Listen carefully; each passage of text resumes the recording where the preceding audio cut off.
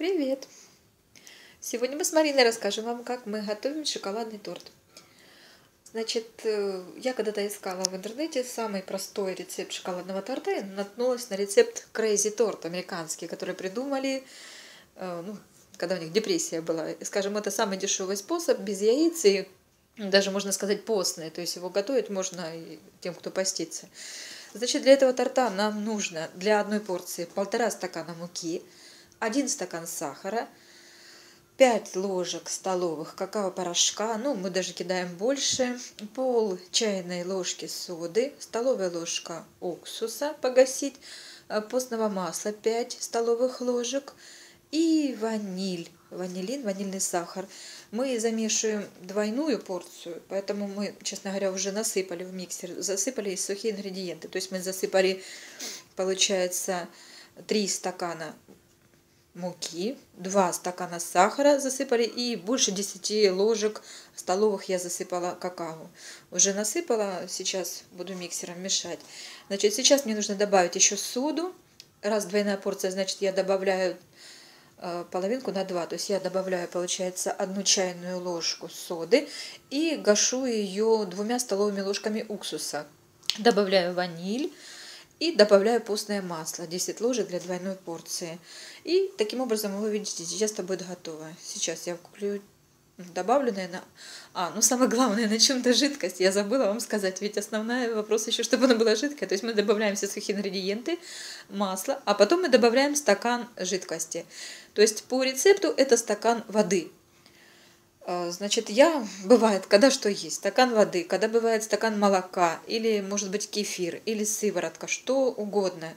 Вот так вот. Значит, начинаем. У нас получается на одну порцию полтора стакана муки, стакан сахара, стакан жидкости воды, 5 столовых ложек какао, 5 столовых ложек постного масла, пол чайной ложки соды, столовая ложка уксуса погасить, с ваниль сколько угодно, сколько вы любите. Мы приготовили 4 пакетика э, ванильного сахара. То есть на одну порцию 2 пакетика, на двойную порцию 4 кулечка буду кидать. Ну все, стартуем. Без яиц. Так, ну вот мы добавили еще ванильного сахара, значит, столовую. Э, значит, мы что сюда добавили? Еще раз в тесто говорю.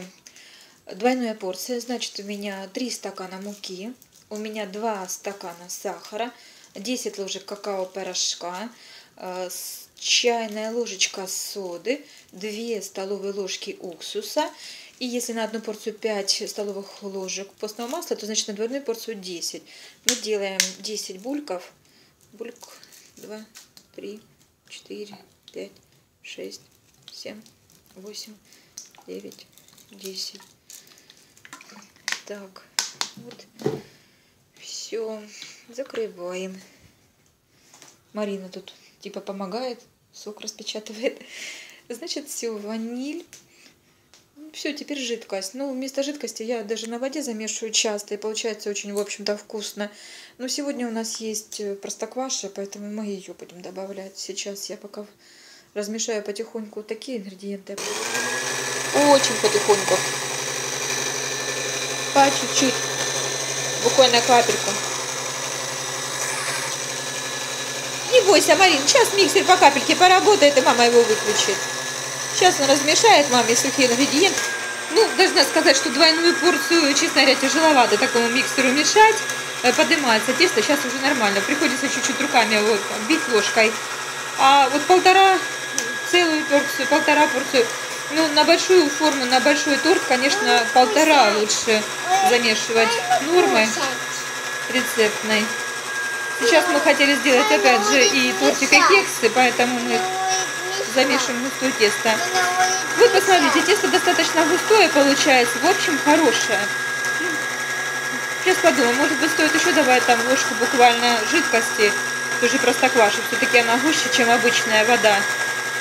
Сейчас попробуем. Тесто получается очень шоколадное, очень такое богатое, насыщенное. Мы любим сюда, чтобы блюдо было душой, чтобы было вкусное. На малых оборотах мешает миксер, потому что крупный, мне кажется, тяжело, большие обороты ему тяжело даже будет мешать. Любишь шоколадное тесто? И мама любит шоколадное тесто. В детстве даже мама, бабушка, когда бабушка пекла, мама всегда мисочку мыла после шоколадного теста. Сначала вылежит ее все, а потом помоет. Такая у меня была должность на кухне. Ладно. Уже нормальное тесто. Сейчас мы попробуем, решим, стоит ли добавлять еще жидкости. Глянем. Значит, мы все-таки решили, приняли решение, мы добавили, ну, буквально столовую ложку, может быть, простокваши, или, может быть, ну, как, чуть меньше, чем 2 столовые ложки простокваши, капнули чуть-чуть еще, чтобы было чуть пожиже. Попробовали тесто, очень вкусное. Можно не печь, можно так кушать сразу. Так. Что, ты уже больше не боишься миксера, Марина? Нет? Значит, что мы промазали формочки для кексиков постным маслом, ну, везде их промазали внизу. Один бульк в одну формочку, и этим маслом помазали все шесть ячеечек. Духовку мы включили заранее, еще когда начали тесто замешивать. Поэтому сейчас будем накладывать шоколадное тесто. Накладываем чуть больше половинки э, ячейки, потому что оно будет хорошо подниматься. Вот, мы наложили наши формочки. Ну, чуть больше половинки. Тесто оно подымется. Ну, мы наши кексики будем поливать шоколадом, будем варить такую шоколадную фондю или шоколадную помадку и присыпать еще кокосовой стружкой у нас есть, мы купили.